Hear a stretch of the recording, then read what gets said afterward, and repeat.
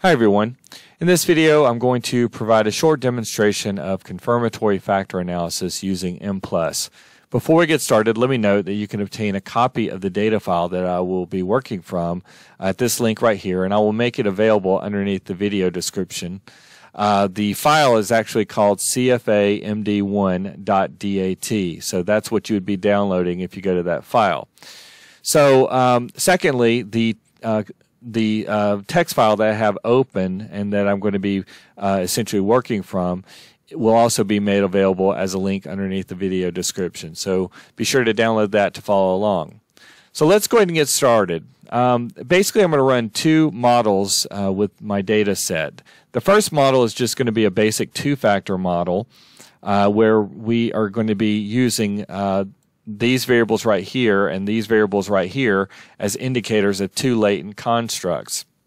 The second model is going to be the same uh, basic model, but adding in correlated errors between uh, two of our indicator variables. So let's talk a little bit about the command structure. First, you'll see um, for this first model, I've got a title command followed by a colon, and then I basically just have the title of my analysis. Uh, and then you can see I've got a little uh, semicolon at the end right here. The next line, you can see it says data, colon, and then it says file is. And so everything after that is going to point the way to the uh, data file uh, for my analysis. And that data file does not contain variable names in it. So um, we unfortunately there's no direct way to uh, import a data file that contains the, the variable name. So you basically are going to have to uh, import it um, without.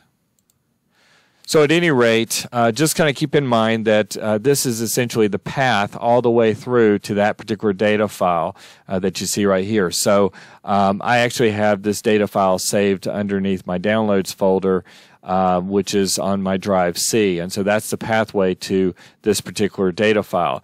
You'll notice that I end with a semicolon. And that's one of the things to keep in mind is that you need to end each uh, set of commands with a semicolon. So on the next line, you'll see it's got variable and a colon. And, and so then I've got names are. And this is giving the names uh, for the variables that are in the data file. So you can see right here I've got prej1, prej2, prej3, contact 1, contact 2, contact 3. I then continue on the next line with int anx1, intergroup anxiety 2, and intergroup anxiety 3, basically. And then we have a semicolon here. So notice that I don't have a semicolon on this line because I wanted to continue it uh, with the, the next line. And so the semicolon is essentially establishing uh, another breakpoint um, in my uh, commands. And so basically the variable names as they are appearing in this section are um, are basically in the same order as the variables as they appear in that data file.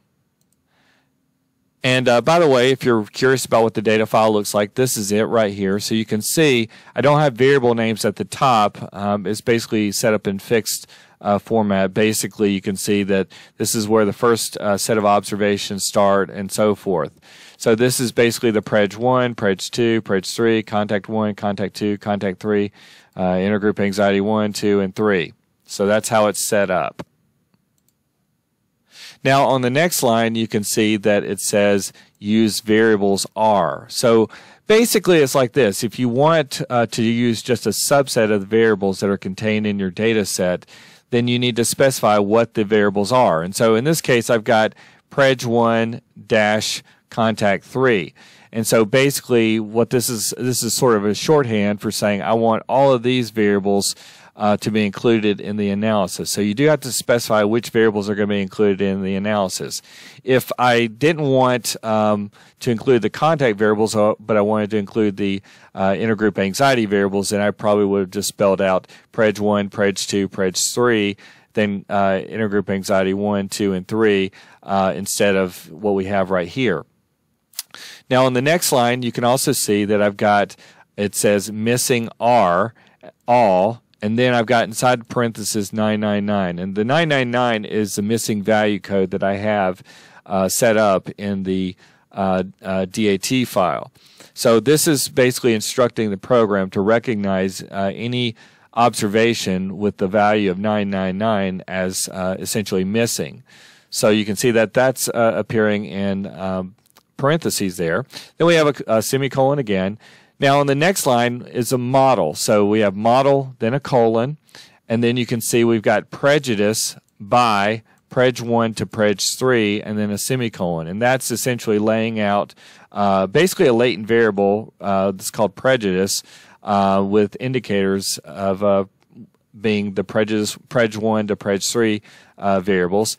Then we have uh, contact, that's a latent variable, by then contact 1 to contact 3, and then a semicolon right there. So we have two latent uh, constructs. We have a measure of uh, prejudice, a measure of uh, intergroup contact, and then on the next line we have output. Not in this case, output colon, and then uh, what I'm asking for right here are standardized um, factor loadings. So basically, I wanted to not only end up with uh, unstandardized loadings, but also standardized loadings. And so that's why I put in uh, STDYX and then the semicolon there.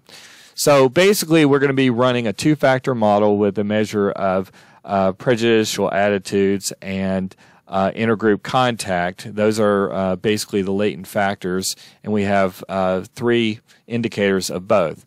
So let's go ahead and run an analysis. I'm actually just going to highlight all of this and copy it and then run the analysis in uh, Mplus. So I'm going to go up here to where it says File, and I'm going to click on New right here. And so I'm going to paste this in. So you can type this in directly. I'll be honest, I tend to prefer um, running, uh, basically typing things up in the text file and then pasting them in.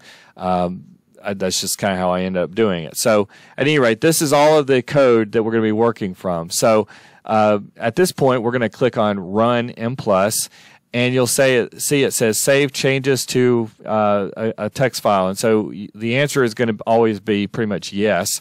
And I'm going to save over this one right here that was done previously, but uh, otherwise it would just basically create a new text file and, and then any subsequent analysis you could just resave over it if you wanted. Um, but at any rate, here's the, the output. So I'm going to scroll down a little bit, and you can see uh, you know number of observations and, and various uh, in indicators related to the model itself. You can see that the observed dependent variables uh, these are the Prej one to, Prej three variables and contact one to contact three variables. Estimator is maximum likelihood. Uh, as we scroll down, you get um, you know proportion of data present right here. And then you also get uh, univariate sample statistics. So basically, you get the means and variances, uh, skewness and kurtosis, all of that good stuff. And then scroll down a little bit further, and then you get to the model fit indices. So the first uh, index that you have right here is the chi-square uh, goodness of fit test. This is the chi-square value. Uh, there's a degrees of freedom and the p-value. And historically, a non-significant chi-square value would be treated as an indicator of good model fit. But we also know that the chi-square test is impacted by sample size, and um, so uh, so a lot of times, given that uh, SEM uh, models tend to uh, essentially involve large samples, this test result will oftentimes be uh, significant, which might be considered uh, as an indicator of poor fit. But given the fact that it is impacted by sample size, nowadays we use a lot more uh, sort of descriptive indices to evaluate fit. So one of the indices that we're going to look at is the comparative fit index. We have a value of one right here. The Tucker-Lewis index. It's also referred to as non-norm fit index in other programs, and that's the value there. And so, generally speaking, these values, uh, you know, more optimal levels are values of 0.95 or above. Uh, acceptable values are uh, about 0.90 or above. So both of these are indicating a good model fit. When we scroll down, we you can also see that we have the standardized root mean square residual and basically values that are uh, below 0.05 would be considered uh, indicators of a good fit. So so thus far, we have uh, good indicators of model fit. Another index that we might consider is the RMSEA, which is the root mean square error of approximation. And so values that are uh, 0.05 or below are considered indicative of close fit. Values up to about 0.08 would be considered uh, acceptable fit. And you can see right here this value is uh, essentially zero, uh, which is an indicator of close model fit. You also have another uh, uh, you have a test right here um, of close fit, and basically a non-significant uh, value right there would be considered an indicator of close fit. So basically, um, you know, really all of our uh, fit indices are suggesting good model fit. Now, looking at the model results, you can see right here the estimates column. Uh, these are all unstandardized uh, coefficients. So you'll see that the first item right here, Prej 1, has a factor loading of 1. And that's because the program by default fixed that loading to 1. And the same goes for the contact variable. And so uh, basically, in order to um, achieve identifiability uh, for your model, you need to have uh, you need to be able to set a measurement scale for the latent variables. And so, uh, with respect to the unstandardized uh, solution, we've set the measurement scale in relation to a uh, one of the indicator variables. And so by default, the programs uh, basically fit um, the factor loading for uh, the first indicator for each of the uh, latent factors to one. The so really all of the test results and everything are useless in this context. So the main loadings then to interpret then would be Prej 2, that's the unstandardized loading, and Prej 3 right here. And both of those you can see are significant, significantly related to the latent factor. With respect to contact, there are the loadings there, and then you can see we have significance there. So basically, um, Prej 2, Prej 3, Contact 2, Contact 3 were all considered uh, significantly related to their respective latent factors. You can also see right here, contact with prejudice. This is basically uh, the covariance between those two uh, latent factors, and you can see that it's not statistically significant. When we scroll down under standardized model results, that's because we had at, we had used uh, the STDYX um, option uh, then basically down here you can see that these would be the standardized loadings. And so in this case you do end up with a, a standardized factor loading for prejudice 1 and uh, for contact 1 right here. And that's because the variance of the latent, the latent factors are being fixed to 1. And so now we can estimate the um, the factor loadings for those two uh, indicator variables. So these are all the uh, standardized factor loadings for all of these uh, indicator variables that you see right there. So if we scroll down a little bit further, you can also see the contact with prejudice. This is the correlation between those two latent factors. So, um, and so we would interpret this the same way we would interpret any correlation. You can see that it's very low, it's near zero, and clearly non-significant. Then down here with the R square values, these are essentially reflecting the proportion of variation in each of our indicator variables that are accounted for by the latent factors. Now, if we want to take a look at the um, the a diagram of the factor model, we can go up to diagram, click on view diagram, and this is what it looks like uh, right here. So this is from the unstandardized solution. So you can see right here, uh, this loading right here and this loading right here, both of those are fixed to uh, one, and there's no standard error that's being estimated. Uh, the remaining are the estimated loadings along with their standard errors that are appearing in the parentheses. You can see over here basically uh, variance estimate, variance estimate, uh, standard error in parentheses, and then this is the covariance and standard error there. Uh, to the right of these boxes, you see uh, the estimated error variance and a standard error for each of those as well.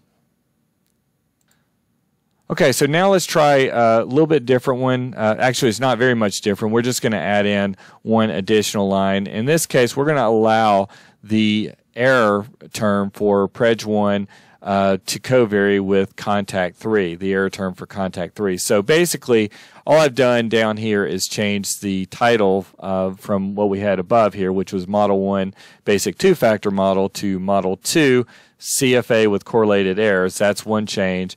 And then everything else is exactly the same as before, except for under model. Now, I, in, in addition to specifying um, the uh, general factor model, now we're also including correlated error between Prej 1 and contact 3.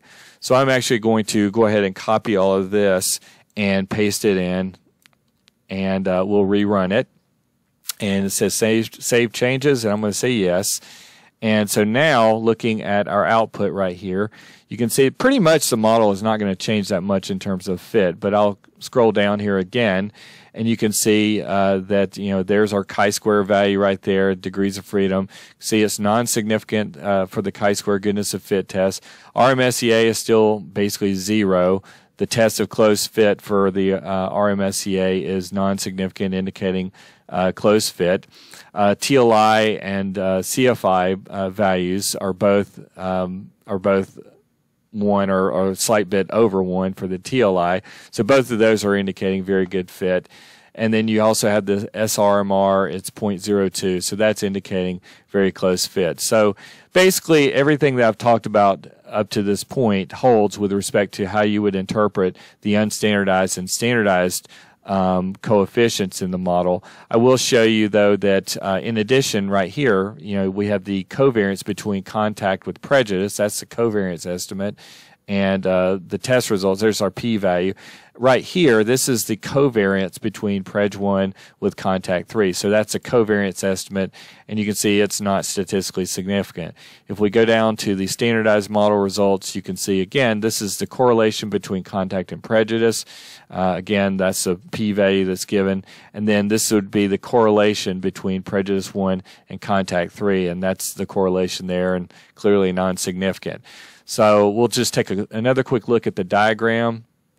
And so in this particular case right here, you, you'll notice that now we have a double-headed arrow that's pointing from Prej 1 all the way down to uh, contact 3. And that's because we've added in a correlated error between uh, those two indicator variables. So at any rate, that pretty well concludes this demonstration, and I appreciate you watching.